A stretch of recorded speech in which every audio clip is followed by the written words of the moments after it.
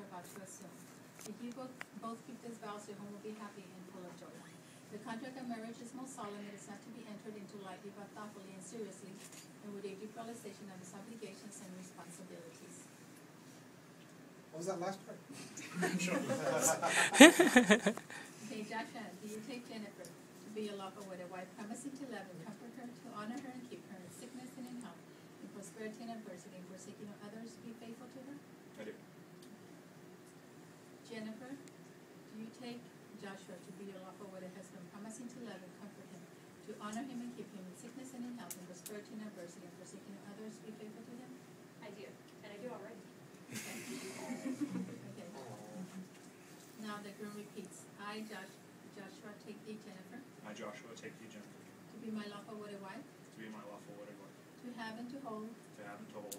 From this day forward, from this day forward, for better or for worse, for better or for worse, for richer or poor, for richer or poorer, in sickness and in health, in sickness and in health, to love and to cherish. to love and to cherish.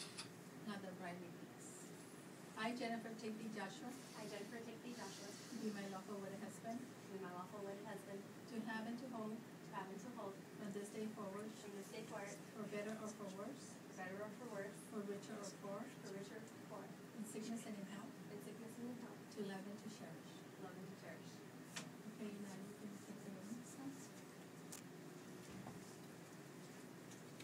And you hold the one you're gonna put on her.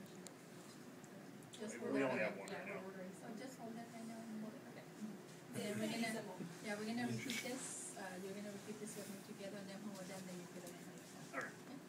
Both of you say, this ring I give, This ring I give, in token of my abiding love, a token of my abiding love, with this ring I do wed. with this ring I do wed. Okay. Now that you have joined yourself in solemn matrimony, may you strive all of your lives to make this commitment with the same love and devotion that you possess today. By virtue authority vested in me as a deputy commissioner of civil marriages, I now pronounce you husband and wife, you may kiss your bride. Congratulations. Oh my god. Don't hold back. Show us how you really feel. All right, let me get a camera. It's just a- Starting the honeymoon early. it's just a I got it all on video. Some real